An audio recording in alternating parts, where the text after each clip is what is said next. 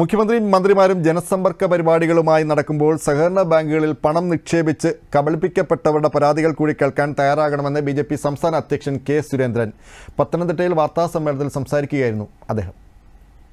മുഖ്യമന്ത്രിയും മന്ത്രിമാരും ജനസമ്പർക്ക പരിപാടിയുമായി ഇറങ്ങി പുറപ്പെടുകയാണല്ലോ. K S R T C bus വിളിച്ച് മുഖ്യമന്ത്രിയും മന്ത്രിമാരും ജനങ്ങളെ കാണാൻ പോകുന്നു എന്നാണ് ഇപ്പോൾ പ്രസിദ്ധപ്പെടുത്തിയിരിക്കുന്നത്. എനിക്ക് മുഖ്യമന്ത്രിയോട് പറയാനുള്ളത് ഈ ജനസമ്പർക്ക പരിപാടിയിൽ സഹകരണ മേഖലയിൽ പണം നഷ്ടപ്പെട്ടവരെ കാണാൻ കുറച്ച് സമയം താങ്കൾ നീക്കിവെക്കണം. മുഖ്യമന്ത്രി നടത്തുന്ന ജനസമ്പർക്ക പരിപാടിയിൽ സഹകരണ ബാങ്കുകളിൽ നിക്ഷേപിച്ച് പണം നഷ്ടപ്പെട്ട പാവപ്പെട്ടവരുടെ പരാതികൾ കേൾക്കാൻ സമയമുണ്ടാവണം.